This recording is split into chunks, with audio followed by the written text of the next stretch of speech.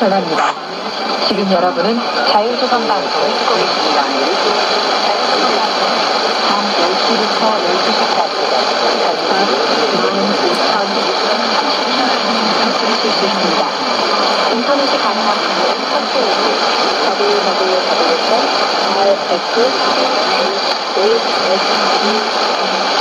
www.rfsd.org에서 들으실 수 있습니다. 많은 청취 바랍니다.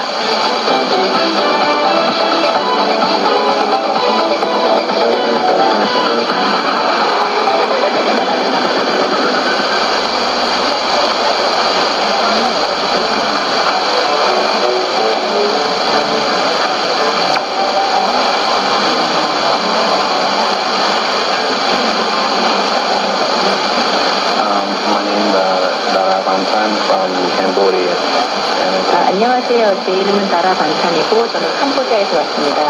어, 저희 캄보디아에서 과거에 크멜루즈 정권 시절에 겪었던 끔찍한 경험에 대해서 여러분과 공유를 하고 싶습니다. 언젠가는 북한과 남한이 하나로 통일되기를 희망합니다. uh, someday.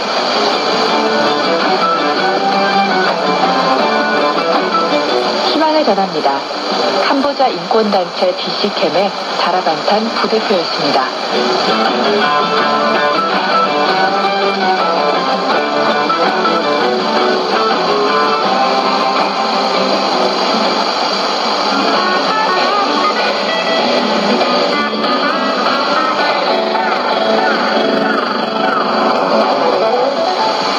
구월 24일 수요일 고향 열차.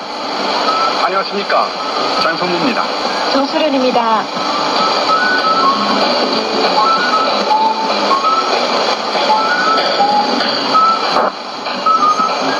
성공. 네. 우리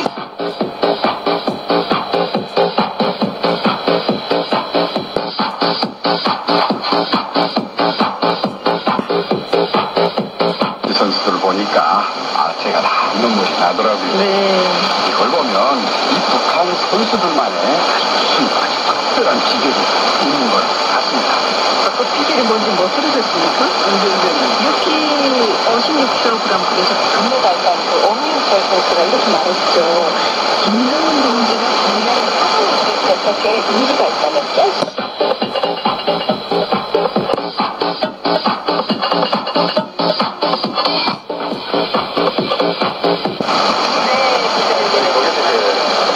말했네요. 뭐 그런 분야라도 좀 지은 선수.